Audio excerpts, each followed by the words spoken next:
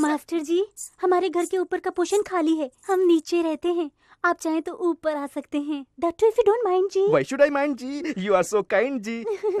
वैसे अभी तक आपने अपना नाम नहीं बताया। नागबाला इज़ माय नेम जी। नाग पंचमी के दिन जन्म हुआ था ना इसलिए ये नाम रखा गया। That's why I love Nag so much too much मुझे नाक से बहुत डर लगता है जी। सुनो, किसको सांप पसंद है और क्यों पसंद है? और सांप को क्या क्या पसंद है? ये सारी बातें जब हम तुम्हारे घर रहने आएँगे ना, तब विस्तार से बैठ के करेंगे। अब तुम्हारा घर कहाँ है, ये बताओ? क्यों नहीं जी? विलायती बस्ती के झगड़ालू मोहल्ले में झाड़ू वाली गली के नुक्कड़ से सीधे राम प्यारे जी के घर आकर आज ही अपना पोषण ले लीजिएगा।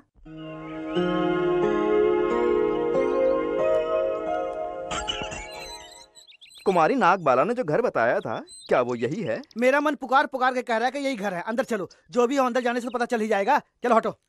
अरे घर में कोई है? कोई है? अरे वहाँ पे क्यों खड़ा अंदर आओ ना इसमें बुराई क्या है? अरे बाबा। के मेरे वस्त्र को छू लिया। अरे अरे मेरे पाप पर बदमाश अरे बाप रे कौन चलते है तुम घर में कदम रखते ही। आज सारा सत्यानाश कर दिया। कौन है तुम लोग ओ, अरे मेरे बड़े मैं आपके बड़े पे कब गिरा जी? एक तो खराब कर दिया ऊपर से झूठ बोलता है बदमाश। अभी दिखाती हूँ। क्या? अरे बाप रे। ए, ए, जल्दी निकल निकल, नहीं तो गोली से उड़ा दूँगी। दादी माँ दादी माँ जरा रुकिए। जानते हैं कौन है ये लोग? कौन है?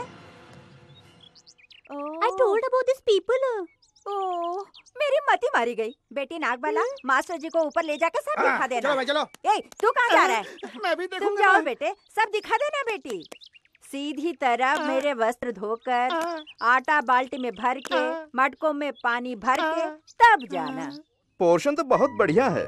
वैसे इसका किराया क्या है? कोई ज़रूरत नहीं जी। ऐसा क्यों? रोज एक घंटे मेरी प्राइवेट डांस क्लास ले लीजिए उतना ही काफ़ी ठीक है। जी। और फिर I want to tell you something ji tell me anything जी आप ये कुर्ता उतार के एक अच्छी सी पैंट और टी शर्ट पहनेंगे ना तो बिल्कुल हीरो दिखेंगे जी